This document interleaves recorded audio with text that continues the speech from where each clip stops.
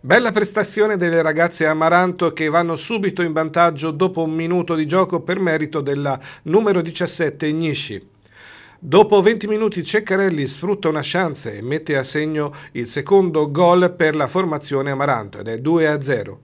Al ventiseiesimo ancora una bella azione per le aretine, con Orlandi che si gira in area e colpisce il legno. Ceccarelli impatta un pallone leggermente alto servito da Lorieri, però l'operazione non va in porto. Al trentatreesimo arriva il tris Amaranto ad opera di Vicchiarello.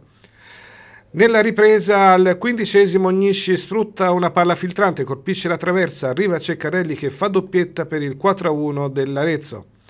Al ventunesimo minuto la numero 8 delle Orsette Cotrer accorcia le distanze perché prova a credere nella rimonta e spinge il recupero con un gol da fuori area frutto di un atteggiamento più propositivo da parte della pistoiese. È 4 a 1. Sul finale di partita Pasquali va a un soffio dal gol del 5-1 per l'Arezzo, sbagliando non di molto traiettoria su colpo di testa. Bella prestazione convincente per l'Aretine e un risultato che poteva essere anche più rotondo.